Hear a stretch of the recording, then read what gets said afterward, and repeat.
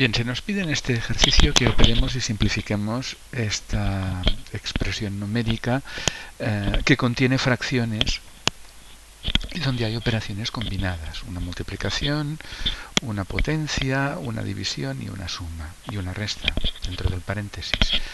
Bien, teniendo en cuenta la prioridad de las operaciones, vamos a hacer aquí en las operaciones auxiliares eh, la, suma que está en el primer paréntesis y también la, resta del segundo paréntesis que luego está elevado a una potencia. Bien, un, medio más dos tercios más tres cuartos, pues reduciendo a común denominador, el mínimo como múltiplo de 2, 3 y 4 es 12, nos queda que es igual a 1 por 6, porque hay que multiplicar el 2 por el 6 para obtener el 12, más 2 por 4, porque hay que multiplicar el 3 por 4 para obtener el 12, y más 3 por 3 porque hay que multiplicar es el 3 que ya teníamos ese por 3 para obtener el 12 a partir del 4 perdón hay que multiplicar repito el 4 por 3 para obtener el 12 Luego el 3 que ya teníamos se multiplica también por 3.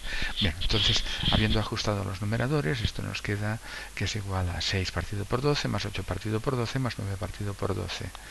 Eh, expresándolo como una sola fracción y sumando los numeradores, pues nos queda igual a 23 partido por 12. Esto es lo que ponemos aquí. Esto de aquí es lo que ponemos aquí.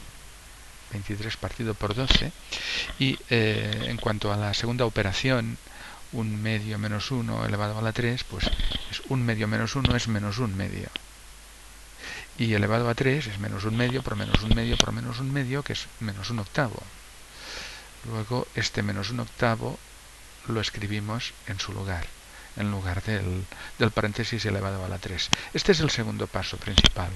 Luego, el, eh, a continuación, eh, simplificamos. Fijaros bien que hay un 6 en el numerador en esta multiplicación y un 12 en el denominador.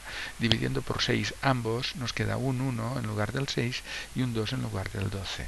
Luego multiplicando el 2, el 2 ese 2 por ese 5 obtenemos el 10.